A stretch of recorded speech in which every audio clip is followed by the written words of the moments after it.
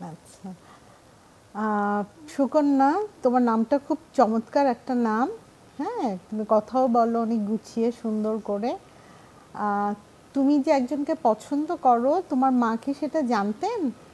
তুমি জানিয়েছিলে মাকে? হ্যাঁ জানতেন। ক্লাস হ্যাঁ। নাইন থেকেই জানতো এবং ক্লাস নাইন থেকেই আমার উপর অত্যাচার শুরু হয়েছিল। আচ্ছা এটাই। আর কেন পছন্দ করতেন না? তুমি বলছিলে যে সে জব করে কারণ বাবা মার এটা একটা কনসার্ন থাকে যে ছেলে বোধহয় ছাত্র হ্যাঁ? তো উনি তো চাকরি করছিলেন তোমার হাজব্যান্ড তাই না? তারপরেও অপছন্দ ছিল? হ্যাঁ। আচ্ছা। তোমার অপছন্দ ছিল জাস্ট বিকজ অফ আমি কেন আমি কেন লাভ করব। তারা তাদের পছন্দে বিয়ে দিবে। সেটা যদি হোক এখন খারাপ হোক সেটা ভালো তারা তাদের পছন্দে বিয়ে দিবে। আমার নিজের কোনো পছন্দ থাকতে পারবে না। আচ্ছা। যখন এই ঘটনাটা ঘটে এটা তো বেশি দিন আগের না তোমার বয়স কত ছিল তখন?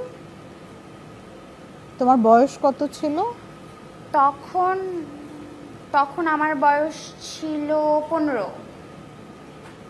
পনেরো। মানে যখন পরিচয় হয়। পরিচয় হয়।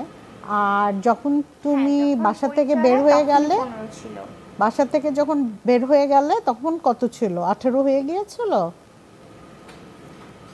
আঠারো প্লাস তেইশ তারিখে যখন তুমি বের হও তখন এইটিন প্লাস ছিল তোমার বয়স তাই তো?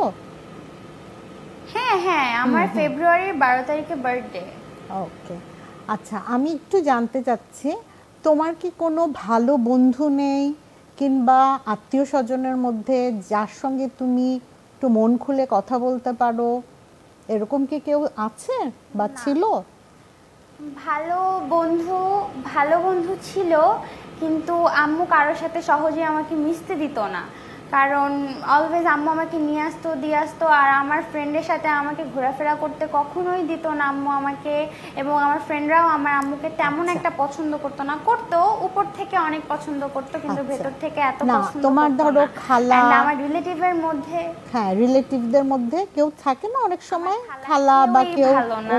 কারণ আমার তিনটা খালা তিনটা খালার মধ্যে আমার যে মেজ আমার আম্মু সবচেয়ে বড় এবং আমার যে মেজো খালা ওনার সাথে কোনো কথা বলে আমি মানে ভালো ফিল করতাম না কারণ উনি সব কথা আম্মুকে বলে দিত। ঠিক সেম কাজটা আমার সেজো খালাও করতো যখন আমি তাকে কোনো কথা বলতাম একটু বিশ্বাস নিয়ে সে কথাটা আমি আম্মুর কানে লাগাই দিত অ্যান্ড আম্মু এরপরে আমাকে চার্জ করতো। আর আমার ছোট খালাও সেম আমি কখনো কোনো কথা বলে আমি কারও কাছে কোনো শান্তি পাইনি। ওকে থ্যাংক ইউ তোমার মানে বলার নিজের সাথে নিজের কথা বলতে হতো অ্যান্ড আরেকটা কথা হচ্ছে আমি মাঝখানে মেন্টালিভাবে খুব শিখছিলাম ছিলাম। নিউজে দেখা গিয়েছে যে আমি সাইকোলজিস্টের কাছেও গিয়েছিলাম। আচ্ছা। অ্যান্ড আমি মাঝে মাঝে আমার প্যানিক অ্যাটাক উঠে। স্টিল আমার এখনও প্যানিক অ্যাটাক উঠে। আমার একটা পুতুল ছিল। ওই পুতুলের সাথে মূলত যখন আম্মু আমাকে তালা দিয়ে বাইরে যেত, বাসায় কেউ থাকতো না কথা বলার মতো, এবং যখন মানে আম্মু জানতে পারে যে আমি লাভ করি, তখন আমার কাছ থেকে ফোন ট্যাব সব কিছু নিয়ে যায়। তো আমার কাছে কিছু থাকে না একটা পুতুল ছাড়া। তো এই পুতুলের সাথে মূলত কথা বলতে বলতে এমন একটা ডিসঅর্ডার হয়ে গেছিল আমার যে আমি একটা ক্লোন বানাই নিছি, যে আমার সাথে একজন আছে, বাসায় কেউ না থাকলে আমি ওর সাথে কথা বলতাম।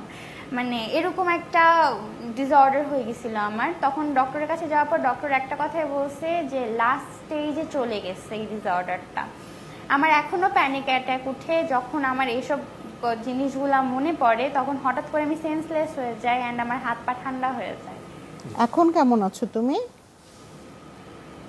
এখন তুমি কেমন এখন আছো? স্টিল আমার হাত পা কাঁপতেছে। কারণ আমি ওসব জিনিসগুলা মনে করতে চাই না। আচ্ছা। কারণ অনেক অনেক খারাপ ভাবে নির্মম ভাবে এত অত্যাচার সহ্য হ্যাঁ, করার পরে এখন আর সেই শক্তিটা আমার নাই। হ্যাঁ আচ্ছা। জি।